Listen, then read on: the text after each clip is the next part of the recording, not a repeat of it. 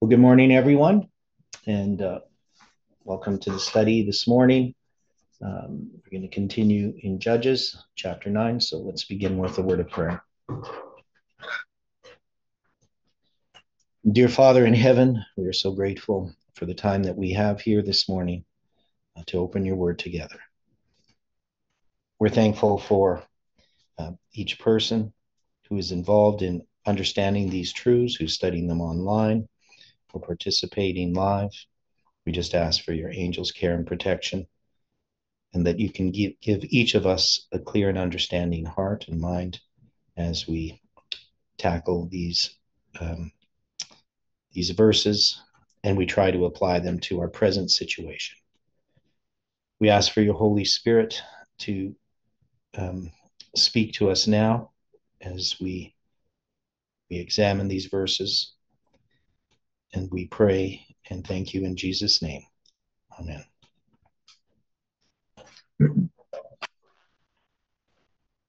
Good morning, everyone. Now, um, what particular point did do we remember we were discussing yesterday, right at the end when we stopped? Does anybody remember?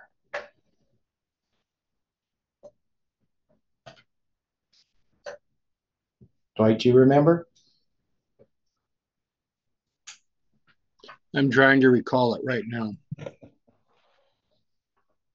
Yeah. So we were um, we were obviously dealing with uh, this parable of Jotham, and particularly addressing um, the bramble. Right. So, so, but I can't remember exactly what the final point was uh, that we had. Um, I can look it up really quickly here. So you're almost in basically a, a, a thought.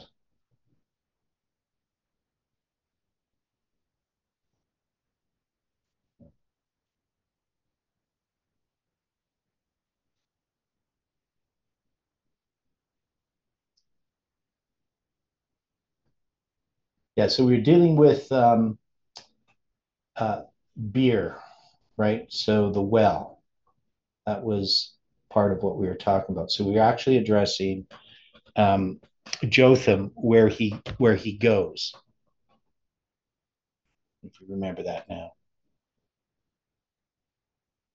So so that's verse 21. And Jotham ran away and fled and went to Beer and dwelt there for fear of Abimelech, of Abimelech his brother. So we are taking this as a reference to um,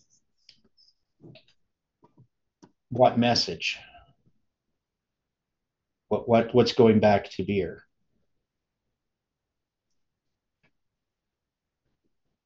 It's, yeah, we were approaching it as what was going back to the seven times. Right. So it's going back to the seven times. What is beer? The the word beer, it's a place. It means well. So we're connecting it to um, it's not the well of the oath, but it's in that area, right? So um, this is a well that was made by, um, was it made by Jacob or Abraham? Abraham, I believe. Okay. Right. So, so we're connecting it to that the study of the seven times, and so when when we look at this here, when we we we we've taken these verses. So one is we recognize that um, um, was it nine? Yeah, let me see here. Um, okay, so I'm just reading back here. So in in his after he finishes his parable, he's going to give his conclusion, right? And and then in verse 18 he says, Ye are risen up against my father's house this day, and have slain his sons, threescore and ten persons, upon one stone, and have made Abimelech, the son of his maidservant, king over the men of Shechem, because he is your brother. Now, one thing we should note here is he doesn't say 69 persons. He he he still says 70, even though he's the 70th. And, and we touched on this before, but why does why does he do this? Why wouldn't he say, why wouldn't the Bible say that 69 sons were killed? Why does it always say 70? They were trying to kill him, so he's this, it's as if he's counting himself as if he already had been killed. Okay. Um, well, I would think, I mean, that's probably partly true, but here, um, this is just the way that Hebrew would express it. So even though there's only 69 of the 70 sons are killed, he have slayed his sons, three score and 10 persons. So his sons are 70. And upon one stone, we said that that was referring to to Christ, that that's representing the um, the cross, the cornerstone. Right? This is about the 70 weeks. Now, they could have put, I guess, in, you know, 70 persons are his sons, but 69 were killed, but they don't they don't say that. So I think as the symbol, I mean, they could have done that, I guess, but but this is the way that they would write it in Hebrew. They they wouldn't be like we are, where we would try to narrow it down to the 69. They're just going to talk about the number of sons is three score and ten persons. These sons were slain upon one stone even though technically one got away, right, which is Jotham. So he's included in that number of the 70 sons, which is my point. But he is the one week,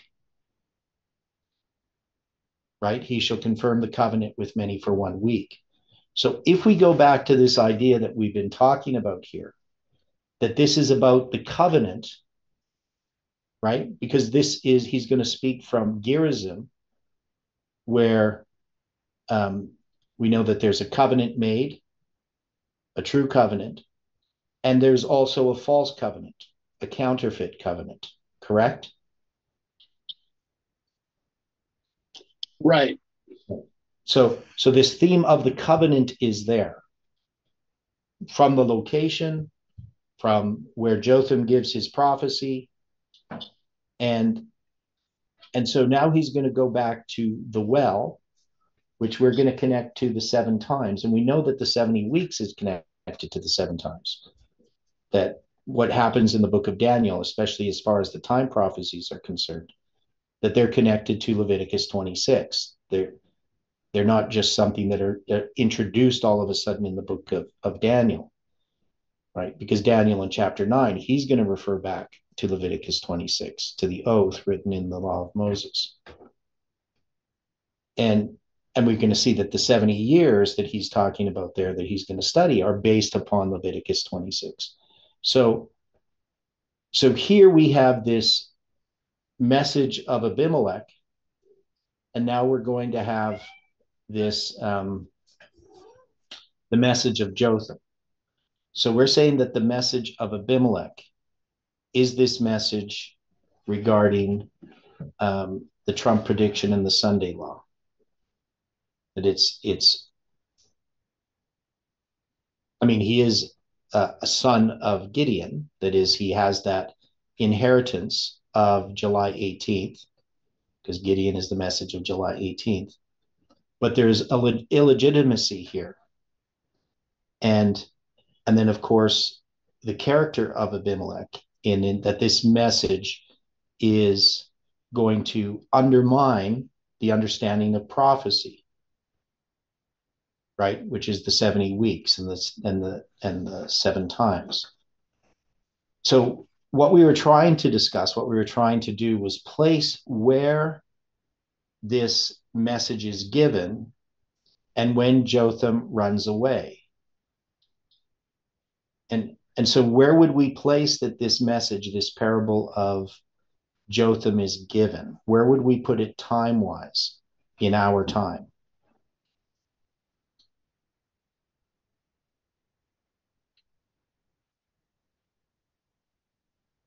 No. So we know that they're going to, it's going to be when they're gathered together making uh, um, Abimelech king, right? Agreed. That that this is going to occur. That he's going to get up on. Um, so, so there's. I'm just trying to find exactly. Um, in verse 6 and all the men of shechem gathered together and all the house of millo and went and made abimelech king by the plain of the pillar that was in shechem. And when they told it to jotham he went and stood in the top of mount gerizim. So it appears that he's doing this when they're anointing him king. Right? This isn't sometime later on. Is is that correct? Or are we wrong about that? Is there anything in the spirit of prophecy that would yeah. September or August 4th, 1881, Signs of the Times, paragraphs 13 and 14. Right. So that's going to tell us clearly that this is going to happen. so that mo- moment. We have we have Abimelech with his uh, unprincipled men that were ready for any crime that had slaughtered Gideon's family. Yeah. He then returns in triumph to Shechem. And upon his immediate return to Shechem, he is anointed as king. Okay, so then Jotham is informed of this after the fact. So when Jotham was informed of it, he immediately comes to Shechem and he stands upon Mount Gerizim in a position where he could be seen and heard by all the people. Right. So there's a multitude were engaged in festivities in honor of their king. So he's already anointed, so they're just celebrating. Right. But they the, those festivities are celebrating the occasion with hilarious mirth and sensual gratification. Yeah. So okay. The lines that we're looking at with all of these stories. Yeah. Because we're looking at, at all of this in Judges as being from 2001 through to 2023. Yeah. Are these lines to be running concurrent with each other? Um, No. The, the reason I'm asking the question, it almost seems as if these examples are given with a repeat and enlarge. Okay, well, we haven't done that. I mean, we know we have some that are repeating and enlarging, but they're focused on different aspects of the line, right? right. So, Correct. The way, so the way that we looked at is we zoomed into a waymark, and that waymark when it, you create a line doesn't just include the events that happened on that waymark, but it includes events that occur earlier. Right? I would agree. So, so when we, for instance, looked at um, chapter six, seven, and eight, we could see that six and seven pretty much cover the same period, but six, eight covers some of that period, but extends a bit further. And um, because that one's the December 25th, 2021 waymark that we're zoomed into. And so we noticed this in the story of Abraham, Isaac, and Jacob, that we could take uh, a line for Abraham and there would be waymarks on it that if we took a line for Isaac, those same waymarks would be there, but they would serve a different purpose. Right. And then we did the same with Jacob and then the same with Joseph. So so there is a type of repeat and enlarge, but it's not just a completely parallel. So you asked the question for what reason particularly? Well, if we step back just a little bit. Yeah. After the meeting in Germany, mm-hmm. where Parminder and Tess began to exercise their papal power. Mm-hmm. We have a situation where they came out very soon after this and told people that they were not to listen to Elder Jeff because, quote, he was dead. Mm-hmm. Does that point have any waymark with what we're dealing with in this story? Yeah. So, so we already addressed that that the death of Gideon would parallel the death of Jeff. Now, in that case, though, we have a false death of Jeff that Jeff isn't dead, right? You understand what I'm saying? No, I, I get what you're saying. And so, so I mean, there is some ways in which, um, I mean, this history that we have here, I mean, they are repeating some of the same errors as as Parminder's group had. Right? That is, one is it's a party spirit, and I don't mean by party like celebration type party, but it's uh, though that was is a characteristic that I would put with both groups. I, I don't think that the the type of conversations that go on um, I don't think are really appropriate. And and um, and one is we could we could parallel this back with what Ellen White says about what happened in 1888. That same sort of um, mocking spirit occurs. Now, in Parminder's group, we could obviously add sensual gratification. Whether that's the case here, I don't know. But um, in you know if we parallel it with our history the way we're doing but i don't think we can just take this and, and just jump it back that this anointing of of abimelech because the message of abimelech is an inheritance um, that comes from the july 18th because it's descendant of gideon and gideon is july 18th message so but it's mixed with this pagan or or uh, Baal worship, right? And and right. that's an inheritance from Parminder. So it has these two inheritances. That is, it's uh, the message of Abimelech is illegitimate in that sense, right? So it inherits both elements from Parminder, and it uh, has elements from J- July 18th but it's actually undermining the July 18th message. And, and then we could place this, um, right, we're gonna, we're gonna be placing this at December 25th. Right, because that's where Colin's going to do this presentation about Trump. And um, but then we're going to have Jotham, and Jotham is going to follow right after. So the message of Jotham is the understanding of the lines, which is going to happen on December 26th. So it's still in connection with that. Um, so December 26th, uh, immediate, and we also have what Stephen presented on December 25th. So Stephen presented um, that there was 777 years from 457 BC to 321 AD.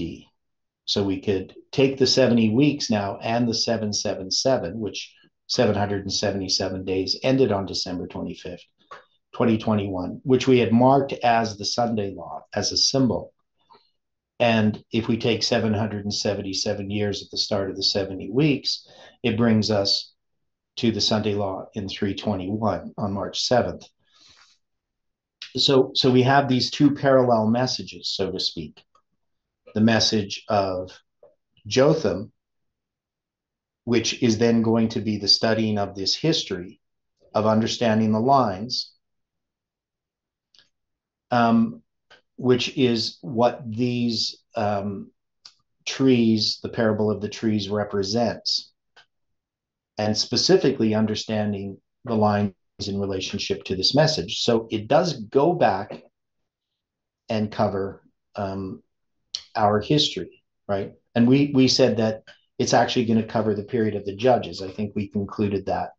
I think was pretty much agreed upon that the parable is covering the period of the judges in symbol, and that we can line that up with our history so that we can go back to 2001, just as we have been doing with the book of Judges, and and start there. Now, I mean, if you need me to draw this on the board, I can do that, but I don't know if we're quite ready yet. But we can see here that Ellen White is is saying that this is while the festivities are going on.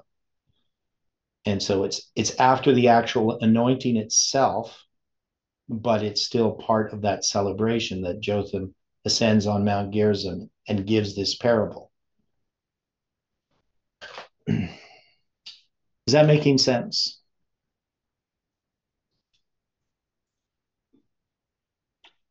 I think it's giving a good a, a good baseline. Yeah. So, but yeah, I understand what you're saying about you know Parminder, but you can see they've inherited that. Right, because we're what we're trying to do is we're trying also to determine what portions or what item of Parminder's message has still infected the current movement. Mm-hmm. So we're having to examine every point to take a look to see what is there that has been accepted by those that have remained in the movement and remained studying that should be abandoned. Mm-hmm. Yeah. So definitely there's, well, one is the whole spirit of criticism. I agree. Attacking the man nothing wrong with looking at what somebody's teaching and discussing it and even saying that what they're saying is is wrong and here's why but if you start attacking the person's character his personal life um, um, misrepresenting him to others mocking you know those types of things they have no place in in how christians deal with differences. Right? And so we have elements clear counsel on that, and um, and so when you see people sort of laugh and exalt, oh, this person's wrong or that person's wrong, and and they have that type of spirit, we know that that's a satanic spirit. It's not something that comes from Christ, and so it's something we have to uh, recognize if it occurs in ourselves. Um, so so when Jotham runs away and flees to Beer, to the well, uh, he does this for fear of Abimelech, his brother. Now, you know, we would need to understand this as a message, right? So this message of Jotham is going to dig into the word in understanding the lines, right? That's what what's going to occur. Now, we're also going to address, if we look at this, at, at what we have done in our study. We start this study of the lines on December 26th. And, and we begin uh, also on Friday night studies uh, to start looking at um, the um, the presidents of the United States. We start looking at Colin studies. We also know that um, we're going to have uh, Odilio studies dealing with uh, the pandemic that are going to come along as well. And, and both of these contain these elements that we would agree are correct. That is, the chronology is correct. The problem is the interpretation. But this message of Jotham, by fleeing to Beer, by studying the seven times, um, and when it says for the fear of Abimelech, so this is a message. Um, how would we characterize that? How would we how would we take this description and how would we apply it to what has happened? What does the fear of Abimelech, his brother, mean as a symbol at the present time.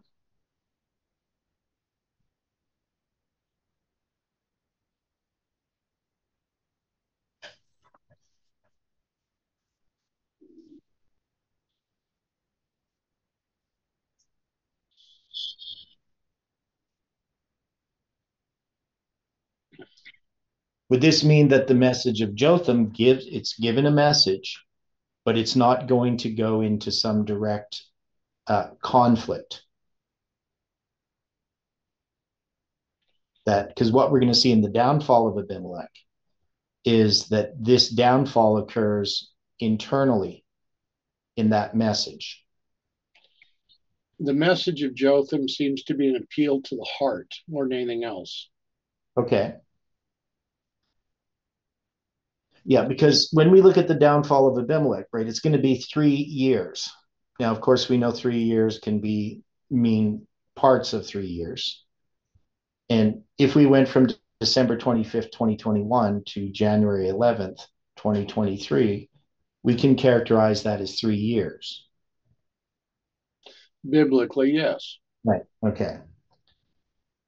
Um, so we, we've been saying for a long time that at the end of that period, that that we're going to see this return back to the correct method of study.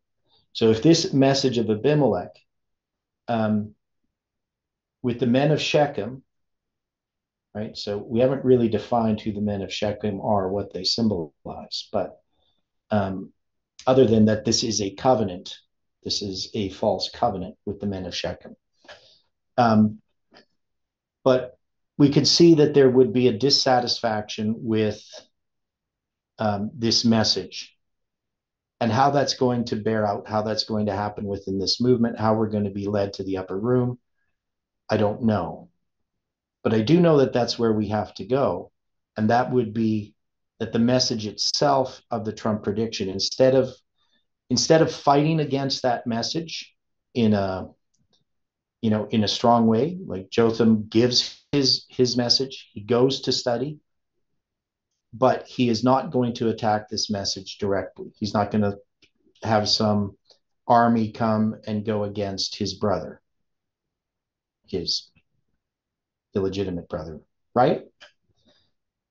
And so we can say that that's what this move, that's what we've been doing in how we study, that we're going to Beer. And we're allowing that message of Trump and and the immediate Sunday law in 2022 to fail.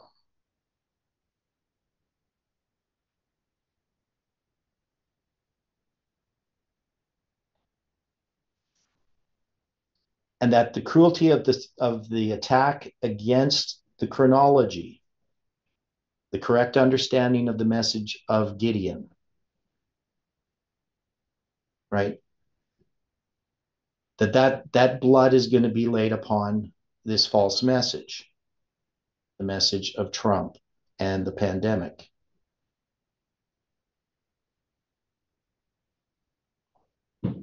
So that message is going to end on its own. Does that make sense? Well, it is similar to David not killing Saul. I mean, the one thing that that is uh, that we see in David's character, which is Christ-like, is the the ability to believe that God in God's promises and to trust that God's going to take care of things rather than taking things into his own hands.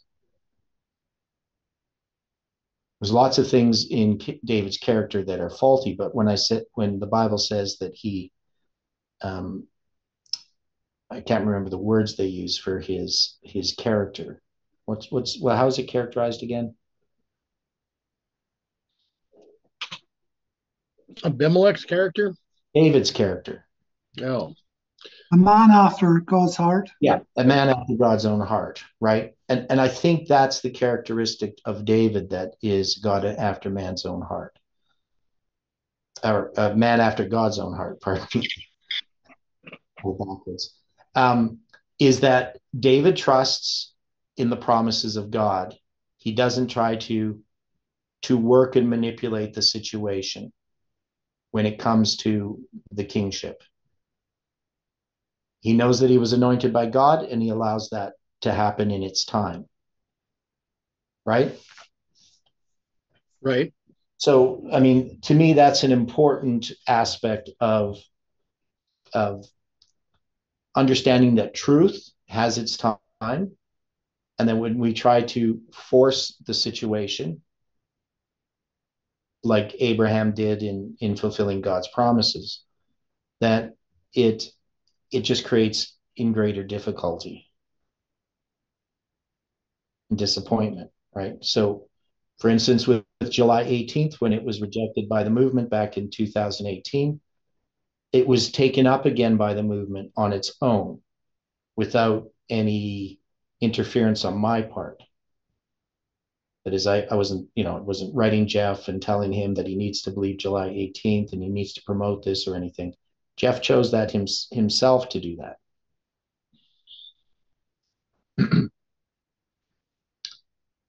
um, so so we need to trust that God's message is going to to win in the end. And so we've used these lines, what God has shown us, to know that one is the Trump prediction would fail, but also its failure will bring us together in the end. It'll be the end of that message of Abimelech. And then we have this opportunity to go to the upper room, right, which is 2023. And now we, we can take verses and use them to refer to dates, right? So, I mean, we have, we know December 25th, 2021 is December 25th. Um, 2021 is 920. That is, it's the 20th day of the ninth month. So we do we see any significance in Judges 920?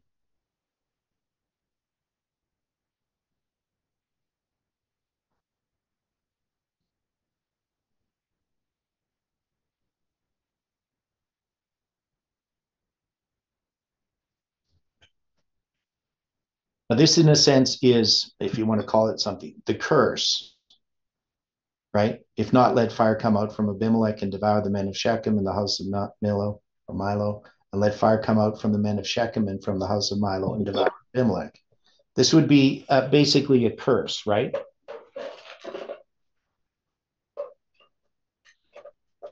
I would agree. Okay. Now, Jotham's upon Mount Gerizim, which is the Mount of Blessing but he's going to basically utter a parable that ends with a curse. So we can see the blessings and the curses tied together here.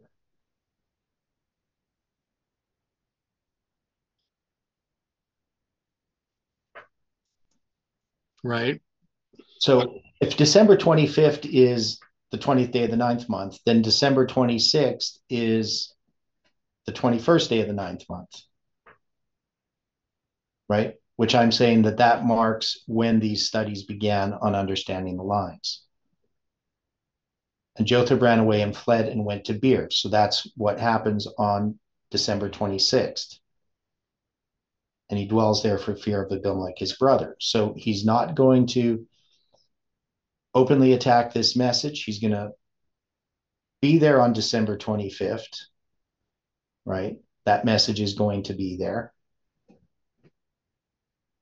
but it's going to be that instead of dealing with a conflict, that that message of Jotham is going to be the studying of the lines in connection with all these this chronology.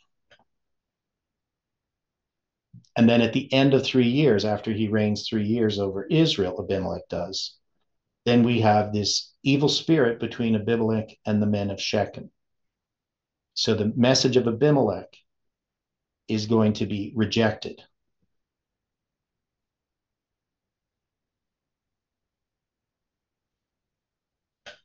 And then this will be corrected. This rejection of the chronology and the time prophecies and the way that they are understood correctly, those will be corrected incorrectly. So they were incorrect. They're now going to be corrected.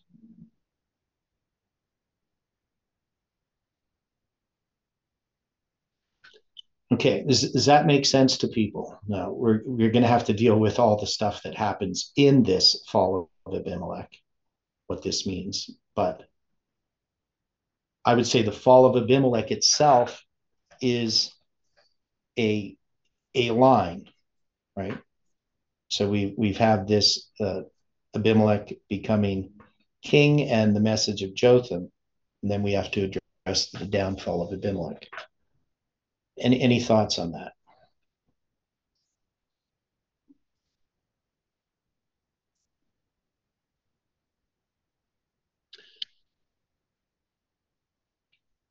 I'm having I'm I'm looking at this in, in the way that you were presenting it, and in the middle, as you were speaking, my internet connection became very unstable. So there's quite a bit that I missed. Okay. A lot of a lot of what you're going over would be interesting when we finally do place this onto a line. Yeah. Now you did pick up on the judges 920 and 921 being December 25th and 26th. Right. Yeah. Okay. Yeah, 20th day of the ninth month and 21st day of the ninth month. Yeah. And then we have these three years, which brings us from 2021 to 2023. Okay, so from the comment in the chat, do we apply the three years of Abimelech's despotism to the three days given to the the men of Judah to gather at Jerusalem and repent and divorce their strange wives? Um, yeah, that's that's that's what we're doing because we already marked the three days as as addressing that. Right, this is the call to Jerusalem. Right, so then we have at the end of these three days, then we begin the divorcement, and that's going to be begin on the end of J- January 11th, 2023, going to um, well, that's going to be the 88 months, right? Or the 88 days, which is 88 months, which is 2,640 days. So yeah, the three years is the three days because we already gave the three days as that. Is that understood? I'm just I'm just mentally going over it. So yeah, I I, I can see the point. Yeah. I mean, there's also I mean, there's other ways in which we looked at it depending which line we're on. But we, we can see that the uh, the three days are tied to December 25th, 2021, and the three years are tied to it sort of we, we I, I guess in some ways we put the three days prior to December 25th, 2021 and the three years after, but they're still tied to the same way mark. And the three days, you know, because it's the call. But but in some ways we need to put the three days after, you know, so because the 20th day of the ninth month has three days before it, right? In 457 but we're not marking particularly, um, you know, three days as a period of time there. It's just a symbol attached to December 25th. But here now we can take the three years and we can, can mark it as a period of time. Okay. Now, in some ways, we also could have taken the three days and marked them as the three dates November 9th, 2019, July 18, 2020, and December 25th, 2021, which is sort of way I marked it initially, something to do with that.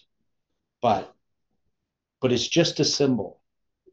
But here we have this symbol three years that we could take as three days, and we can place from 2021 to 2023, no matter where you start that in 2021, whether you're going to start it on December 25th or some other date.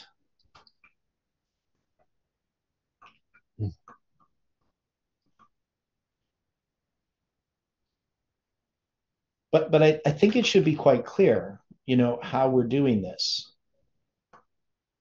Right? We're we're still taking this method message, the parable of the trees, as referring to what we're doing now in the understanding of the lines.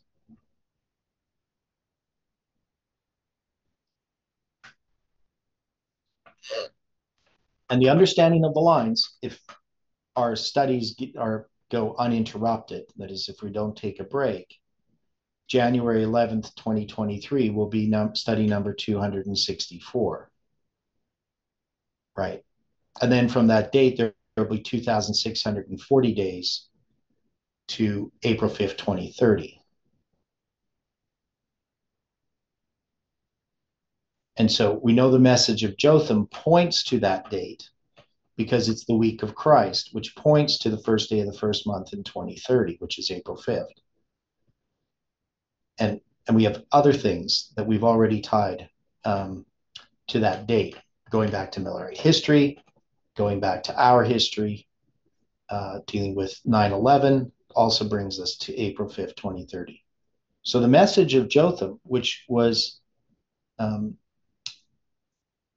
understood um, in connection with this uh, is basically as I don't know what word to use, an antidote maybe to um, Colin's prediction. But once I looked at Colin's prediction, I could see that it connected to the chronology of it, connected to um, the date that I already had, April 5th, 2030. So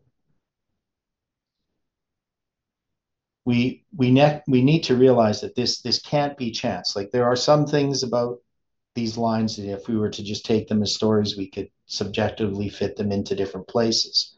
But when we have something as profound as chronology, that's very solid. I, I don't think we can dismiss that. So we would say at the end of the three years in 2023, whether that's actually on January 11th or 12th that this happens, we know that this message that we characterize as the Abimelech message, which is the message of Colin and Odilio, that that message is going to be rejected. Because it will have failed. It will have failed to fulfill its promises.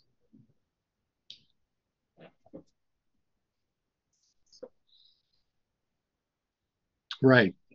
Okay. Now, in that curse there, that this fire coming out of the message of Abimelech and devouring the men of Shechem, we haven't really defined what the men of Shechem are. Now, we we sort of have um, in an earlier story, because where did we have Shechem before? In the story of Judges.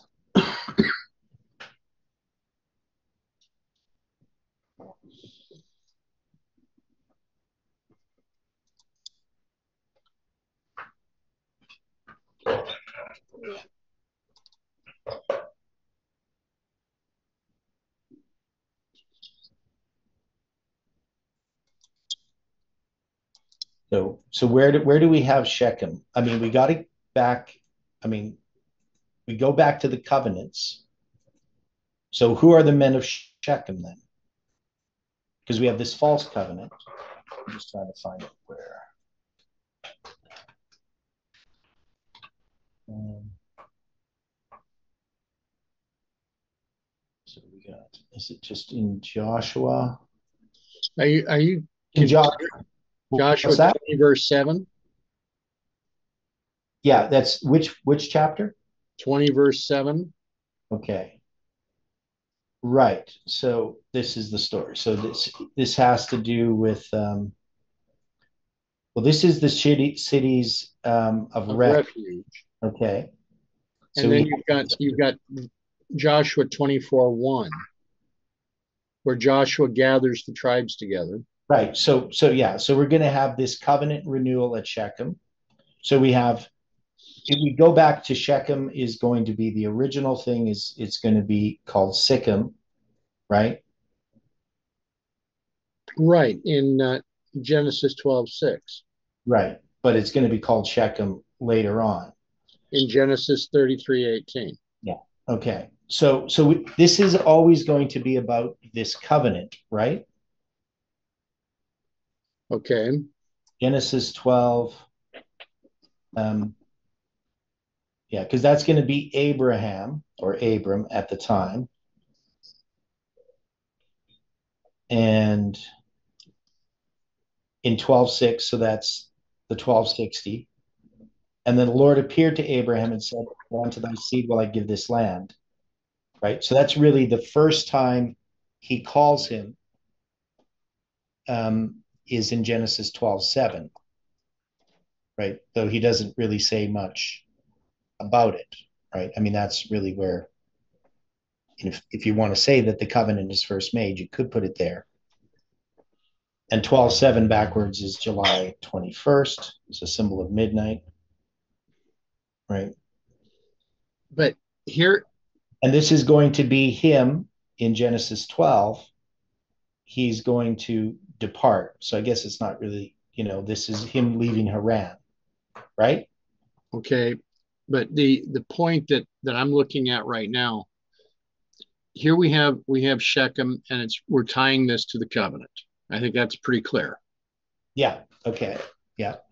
But Shechem is also one of the cities of refuge. Yeah. Okay. Then how do we tie the cities of refuge in with this with the covenant?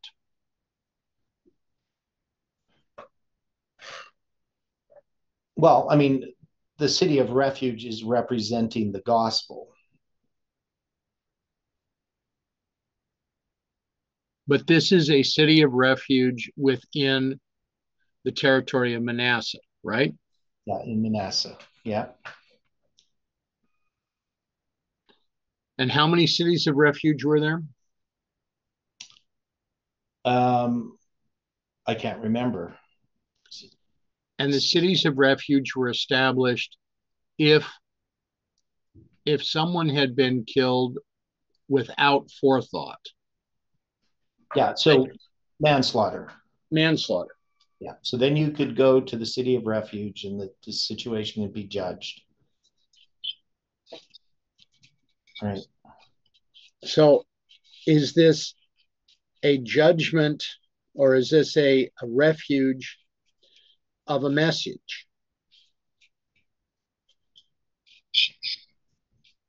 How do we approach this? Well, I, I would think it's a refuge of a message. But here in the men of Shechem, so the men of Shechem, because they should be following the true covenant, right?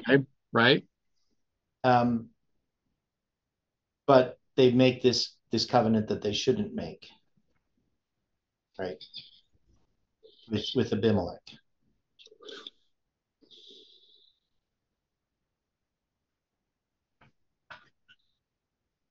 And this is going to be quite a complicated uh, story, though, the downfall of Abimelech, right? So it's not because we've gone through it before. It's it, but what we're trying to say is who are the men of Shechem? And they would be the men that are involved in this covenant, right? So it represents a covenant. But but we have a true covenant and we have a false covenant. We have a counterfeit. So the, just the question I guess I'm asking about the men of Shechem, if we're going to attach a symbol to it, it would be this, the symbol of the covenant, but also we can attach to it the city of refuge. But what does the city of refuge have to deal with our message right now? Well, it is a refuge. Right. So, yeah. Because the the the situation that we've got with this with the the men of Shechem we have the message that is Abimelech being represented by the worthless bramble. Mm-hmm. The worthless bramble was grasping for honor mm-hmm. and was destroying that which was better than itself. Mm-hmm. Millo or Milo was the name of the Senate House or the town hall, and by the house of, of Millo was meant the chief men of Shechem, which yeah. which had united, making Abimelech their king. So these chief men, these leaders, are the ones that are promoting the message that we are tying with Abimelech. Mm-hmm. but these leaders are the ones that are going to come back to destroy Abimelech and also be destroyed by him. Right. So so we're not necessarily taking them as people. No, we're taking them as messages. Right, as messages. Exactly. Or a message. Yeah, a type of message. So this is going to be a, me- a message then, because the, there is the men of Shechem ally with this message. So there is a message that's supportive of this other message. So we need to kind of decide what that is. Um, but it's going to turn against um, the message of Abimelech. So, how would we then have a message that was aligned with Abimelech turn against Abimelech? So, would this be a message regarding the covenant? Would this go back to um, some other part of our message? Not July 18th, but something else? I'm having to consider if that wouldn't be correct. Yeah. So part of our message aligns with this other message. So the men of Shechem must refer to some message that was a covenantal message that was originally addressed with this movement. And, and I would say under the time that Jeff was the leader of this movement.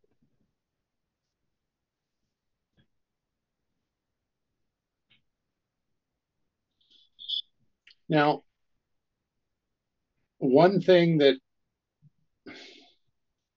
one thing that I've had to consider.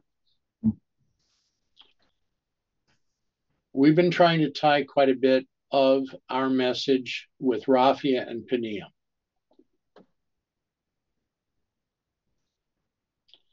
Could that be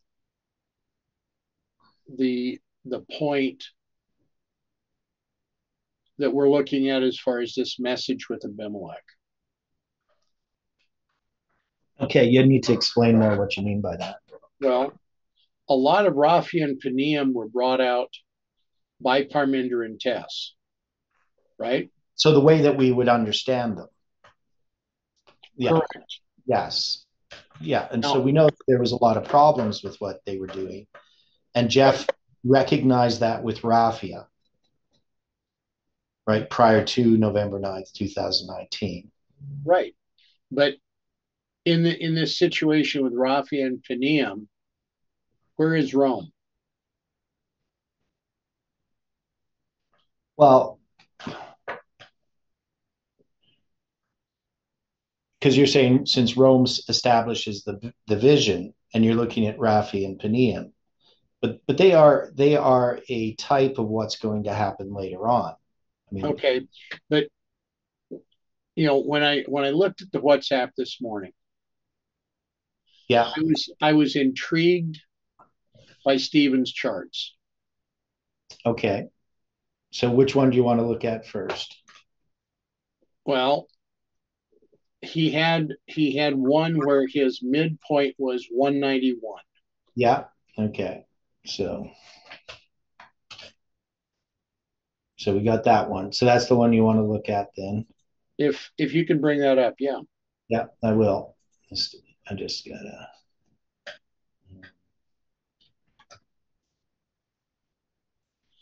Just can't bring it up on WhatsApp. I have to save the files and open them up. So. Sure. No, I understand. Yeah.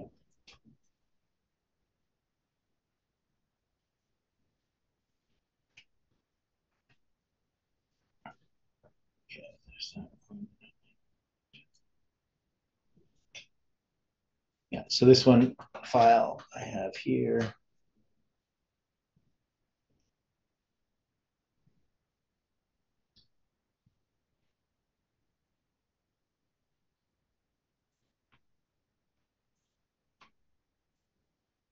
Okay, and then I'll just expand this a bit. Okay, so this is the 191. So we discussed this a little bit before. So what we have is the 434 years of the 62 right. weeks. If you divide it in half, it's 217. Now 217 BC on June 22nd is Raphia. right? Okay.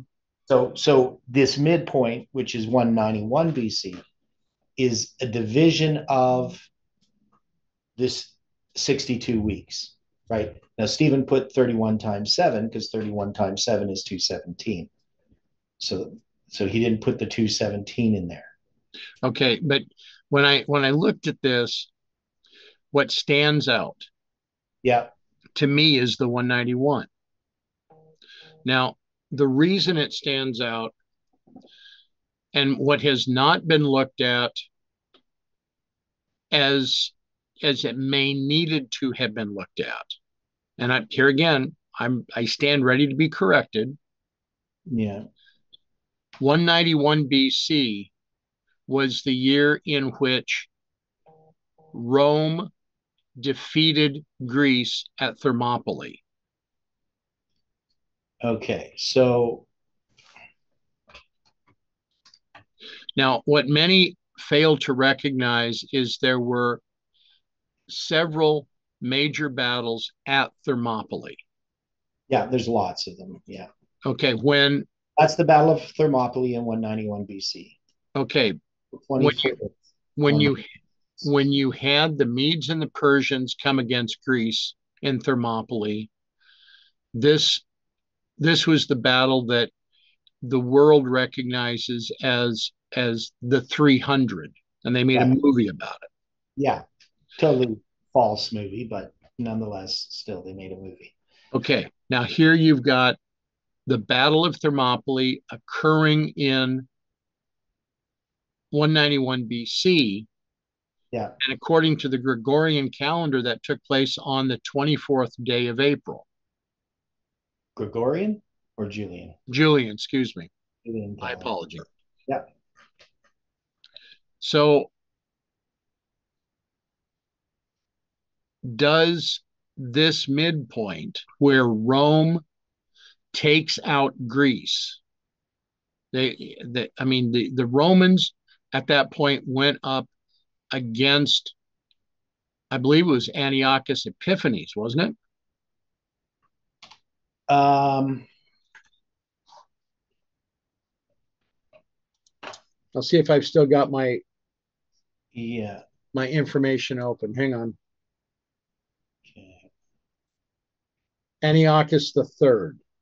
Yeah, that's not Epiphanes. Is it? That's Antioch. That's the Greek. Antiochus the Great, excuse me. Yeah, it didn't make sense. Antiochus Epiphanes. Okay. Okay, so anyway, we have this uh, 191, and this is Rome defeating Greece. Correct. Yeah, and and the chart was sent to Iran at 3:17 a.m. Your time. Iran. Yeah, For Iran's time, because it gives us our local times. What's three seventeen? It's three times, uh, 31 times seven, Oh, right. right? So. Oh, you were referring to mountain time, my time? Very cool. Okay. Even better. Well, yeah. So Okay. When when I'm looking at this, I mean, this was was occurring in 563 at Urbe Condita, so 563 years after Rome is founded. They come up against Greece Yeah. and they defeat Greece at, at this Battle of Thermopylae. So I, And I'm just- is this pass that they have to go through. correct. So, I just found this I, I found this to be very intriguing. okay. Okay, well, that is interesting. Now, um, so when we de- when we look at these, um, uh, so when, when we look at this, I mean, there's there's lots here. Um, you know, I told Stephen it was kind of convoluted. That is, I mean, there's just too much there that I wouldn't have put in, um, uh, because I think it's just this 191 BC. But see, he's tying it to the time of the end and to the two times of the end.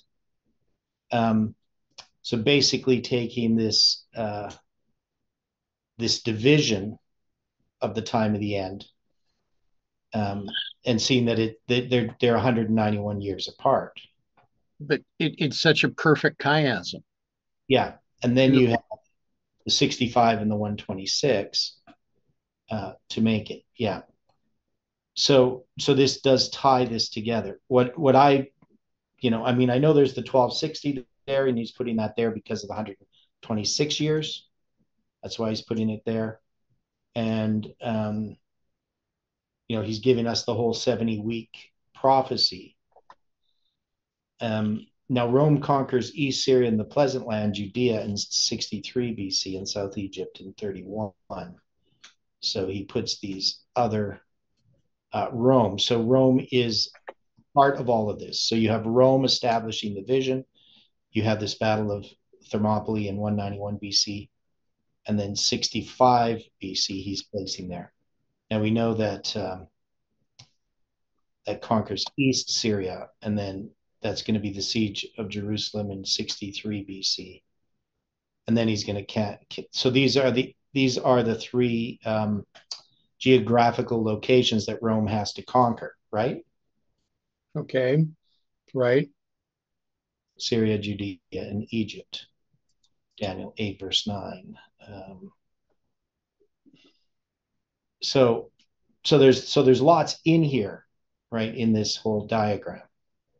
But the main point here is this 191 years, right? So these three geographical areas to reign supremely connected with 191 and 65 dates or spans. Right. So so there must be a simpler way to sort of do this diagram or do it as separate separate diagrams to sort of bring it all together. Well, it, it's interesting as well because where the where the midpoint is, yeah, 126 years before the midpoint, you have Ptolemy marrying Berenice, the lady in waiting. And there was quite a bit that actually took place within the Macedonian Empire in that year.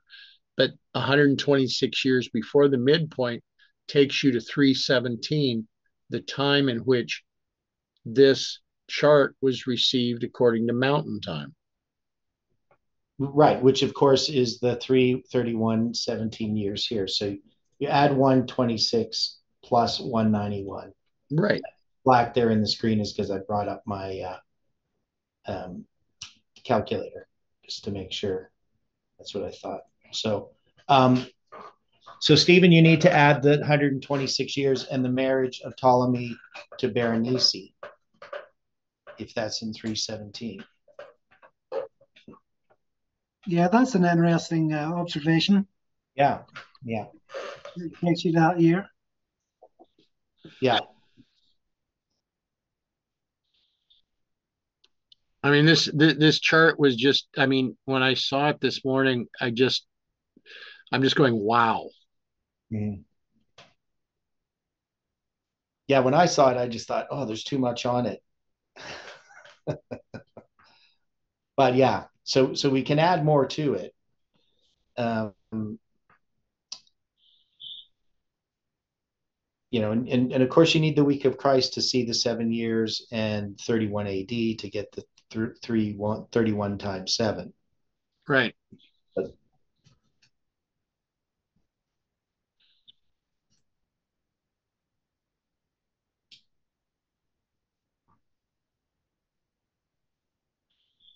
Yeah. Okay. So now we brought this up because of Rome establishing the vision. Correct. And, because yeah. you know, I you know, I understand the the points about the battles that we were addressing, but in no way when Parminder and Tess brought this up were they focusing on Rome establishing the vision. Too much of that with them they were trying to occlude Rome's involvement because they were supportive of what Rome was doing. Right. And they were trying to deal with the this whole thing of the two the two channels of truth, CNN and or the two the two rivers, Right. one CNN and one being uh, Fox News. Correct. And of course, Jeff had pointed out on September 7th that they had neglected to mention Rome, Right. this, this third one. That was the whatever the network was called. I can't remember. It's too long for me. EWTN. Yeah, EWTN. So, so we have a papal um, uh, media source that arises at that time as well. Um, so Jeff, you know, and, and this was part of the whole thing is that yeah, they're occluding Rome. They're removing Rome from the picture because they're in favor of Rome. Right? Rome isn't the enemy anymore. Right. the enemy is uh, conservatives, right?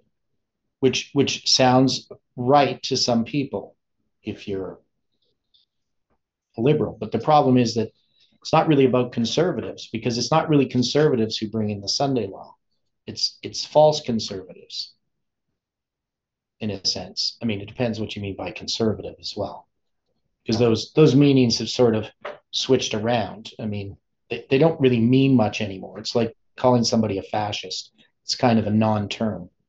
It, it's just an epithet with no no basis in it.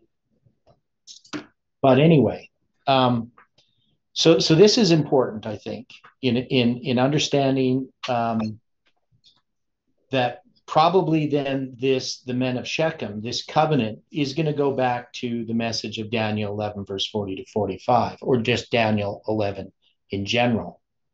Would we agree with that? I think that'd be logical. Because that's the covenant that this message is based upon, Right. right? This message is based upon Daniel 11 verse 40 to 45. And uh, so we need to return to that message correctly and understand what it's about. So would would it be out of line to say that when Jotham fled to Beer, Yeah, which was out of Abimelech's influence, yeah. that the message of Jotham was returning to the message of Daniel 11. Well, it is, but it's returning to, I mean, if we're going to say the well is representing the 2520, um, I still think that the problem that we have personally is that we don't fully understand Jeff's message. That is, we don't understand our message, what the foundation, like we studied the foundation, right? We spent time doing that. And, and then we're now understanding the lines. But as a movement, and I, and I think each of us can all say, we don't fully understand what our message is. I mean, we're struggling through this. We're looking at these things. We're trying to understand it. But the men of Shechem, if it's symbolizing a message, it's symbolizing a message that has gone off track, made a made made a covenant. In some way, it represents the movement itself. But the movement founded upon Daniel 11, verse 40 to 45. Well, as, as an additional point, does this have an application with Father Miller's dream? Okay, so you're talking about the dirt brush man. Yes. Well, I mean, yes. I mean, that's what's been happening with this movement because that's what this movement is about is finding these these gems, getting rid of the counterfeits so that we can finally set the message into the casket. But we we don't set the message into the casket. The dirt brush man does. Well, the dirt brush man does, yes. So we cooperate with him in that, in in our studying. I'm not disagreeing with your point. That's all I'm saying. Yeah, Christ Christ is doing this work as the dirt brush man. So so we don't understand everything yet. And Right. of course it shines 10 times brighter. We know the message isn't just about uh, something that we put into some paper or put on a video.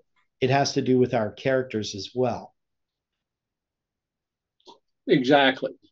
So, so I mean, our characters aren't refined, and our understanding of the message is not refined.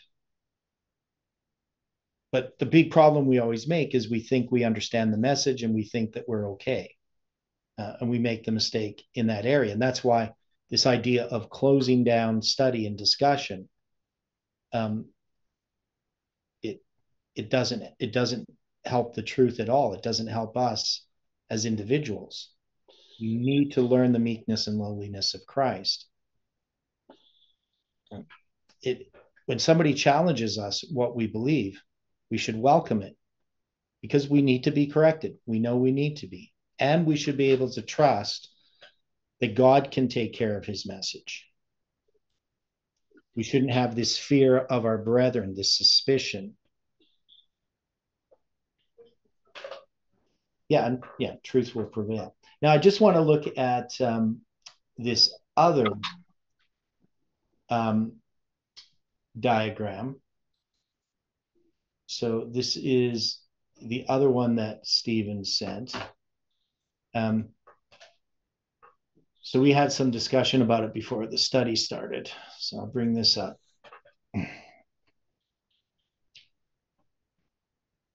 Okay, so um, now the problem I had with this one was I didn't like referring to uh, Colin as an African American because I don't think he would particularly like that um, because I know people from Jamaica who don't like that phrase.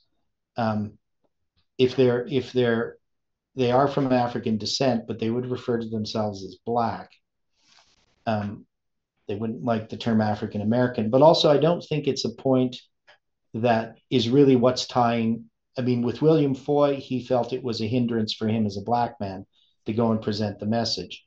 I mean, maybe as Amir, I mean, Colin does not consider being black as uh, a hindrance in any way, because as Grenadian, he he believes that uh, um, he was taught, you know, it's a disadvantage maybe to some degree, but you just ignore it and you work hard anyway.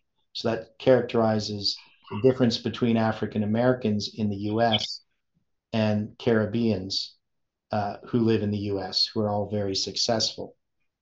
Um, so they don't they don't consider this black as a handicap. Being black as a handicap, but but also I just don't think it's it's the correct um, point that should be marked here. And now in Stephen, in putting this together, what what is it you, you saw? You saw that there's the sixth and the seventh not yet sounding.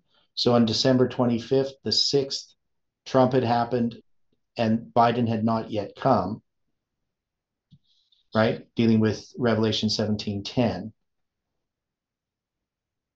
Yes, I'm just saying Yes. some some similarities Okay. and um, I'm not making any comment. I'm just sort of saying these are facts. Yeah. As to how to whatever. I'm not doing that. Yeah. And and so so we can see the sixth king and Biden is the seventh king. I don't know if I would put Biden there yet or the globalists, but because I don't see Bi- Biden as fulfilling that role. Yes, I'm just noting what Colin did. Okay. Whether that's right or not, I'm Now, not. Angela, Angela asked whether January January eighteenth, uh, twenty twenty one was the date that the FFA was sold. I don't know. Uh, not FFA, but the School of the Prophets was sold, and and then the people who bought it are still selling it, so they're just trying to make money on it. They're just trying to turn it over.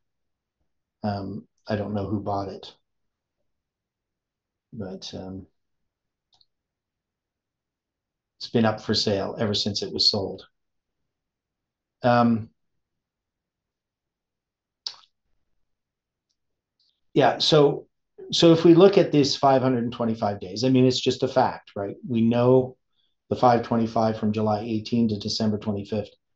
And we know from William Foy's vision is 525 days from August 11th, 1840. And we have the 118 there, uh, 118 for 11 August, and 1 January 18th is also 118.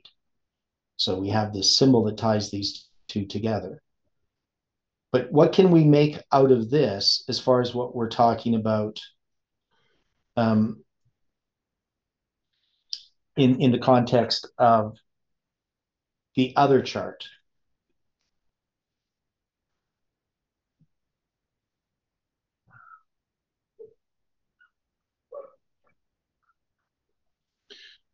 I'm looking at these as being two very complementary charts. Yeah. Okay. So what is this? What is this chart telling you? Well, on the left side, the the conjunction of the 11th of August of 1840 and 18th of July 2020 mm-hmm. replace I mean the the the portion that that brings them together of course is that these were both dates tied to the prediction concerning Islam. Right. So those two dates that we'd already tied together um, in various ways, now we can see 525 days for the one is going to give us a significant uh, vision of William Foy, his first vision, where he says the sixth angel has not yet done sounding, which was something that the Millerites hadn't understood because they believed that August 11th, 1840 was the date that marked the end of the sounding of the sixth trumpet and that the seventh was soon to sound. Correct.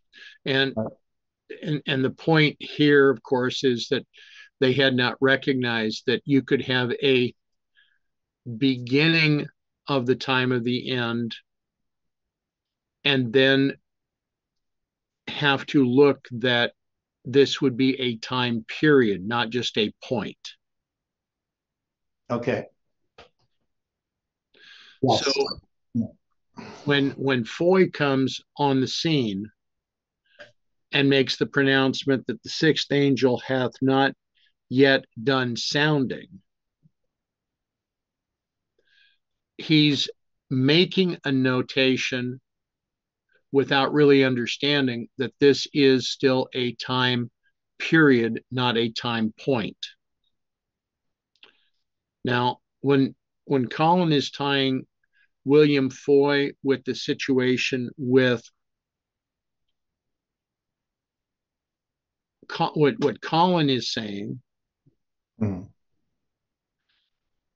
should we not be looking at this again as a pronouncement regarding a time period rather than a time point? Okay.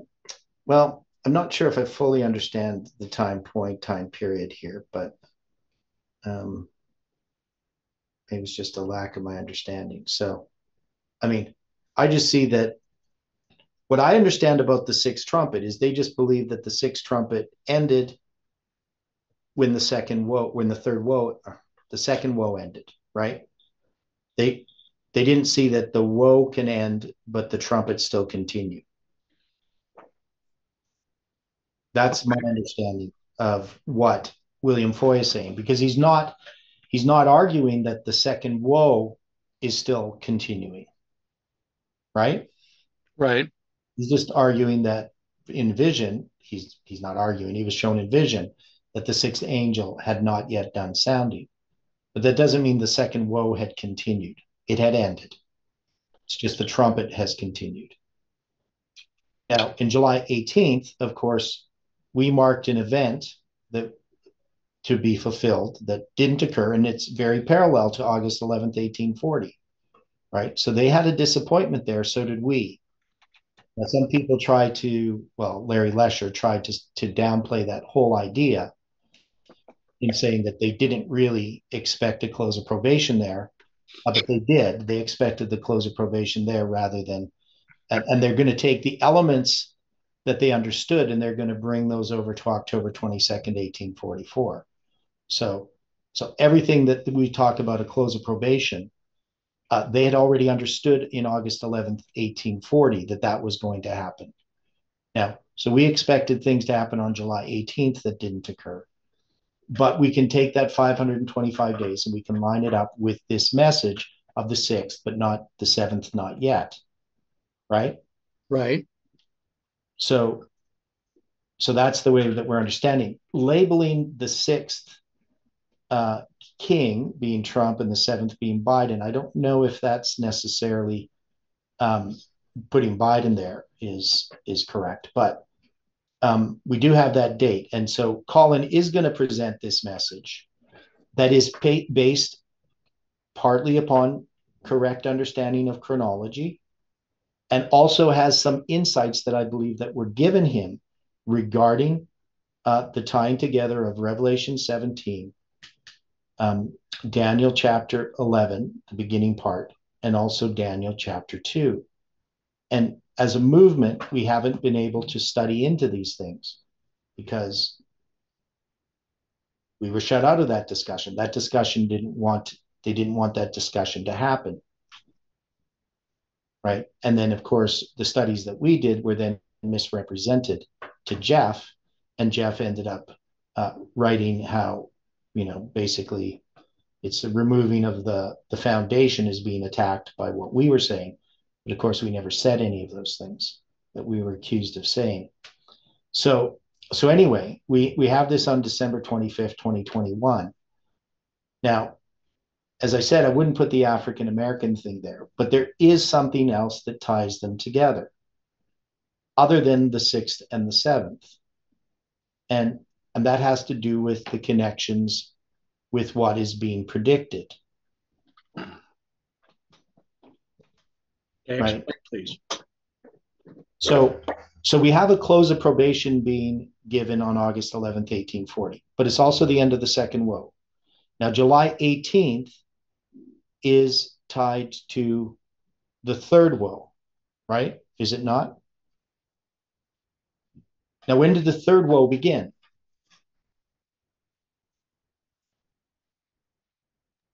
9/11. Yeah, so it began at 9/11. And and so we have to have an end to the third woe. Now, we don't we, we we haven't tried marking that particularly, other than we would sort of say, when when does the third woe end? Second coming of Christ or something like that? Yes, I think it would very much uh, connect with the seven last plagues. Right. Yeah. So so we would tie it in there. Now remember in 1840, what were they expecting expecting to happen when probation closed? They were expecting the seven last plagues, right? Correct. Right. So that so they they expected that the seventh trumpet would sound. That would be the seven last plagues and so forth. Our time is running out. We're going to have to come back to this. Um, so, so we're going to have to come back to this and look at what it's saying at the beginning to understanding what's happening at the end of this 525 days. Because I think it's much more involved than, than this chart shows. Because we need to understand what, what we were predicting on July 18th and what the Millerites were predicting about August 11th, 1840, and see how those are tied together. Because we were making a prediction concerning Islam. That's correct. But there's more tied to it. Does that make sense? Yes. Okay. So we'll come back to this tomorrow. You're going to be here tomorrow, Stephen, too? Yes, should be. Okay. Okay. Well, let's close with prayer. Dear Father in heaven, we thank you again for this study. And um, we are thankful, Lord, that you are able to work upon our hearts, that you have, have still continued uh, to plead with us, to correct us. And so we ask, Lord, that we can respond to your voice, and that we can obey your voice and walk in the path that you have set out for us. Help us to be faithful each day in the tasks you give us. Help us today, especially as we go about our day. Be with each person. May your angels go before us be around us. May your Holy Spirit speak to the hearts of those we speak to. And may we be able to reflect your character and glorify your name upon this earth. We pray this and ask it in Jesus' name. Amen.